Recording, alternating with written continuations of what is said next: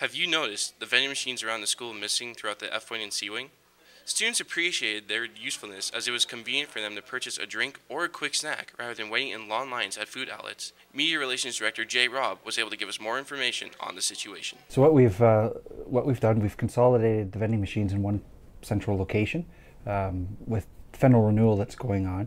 Um, as a lot of students have seen, we've revamped the cafeteria, right? So we've created a food court, we've added a Starbucks, uh, longer hours, better food selection. So we thought here's a chance also to put vending machines in one place. Um, that saves us uh, on energy costs um, because vending machines are sort of energy hogs, right? So we can pull the plugs on a lot of the machines.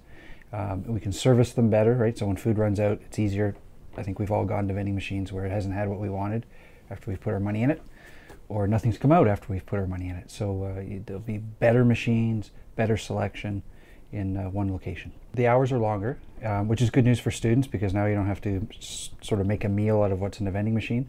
Um, so there, there'll be more food, healthier food available uh, at more times of the day and night. So we're going to take a look at what's in the machines. We want to give students more options and healthier options uh, because we also recognize there are students who sort of work here 24/7, right? So even though the hours are extended, we do have some students who wind up eating out of vending machines. We just want to make sure that you have great choice, healthier choices, and you, you get what you put your money in for.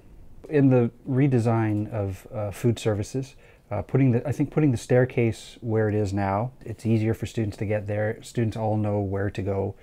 Uh, it's quicker to get there. There's an elevator now. There's the staircase. Um, so I think, um, and so while it may not be right around the corner, it's at most a five minute walk for students pretty much from anywhere in the campus.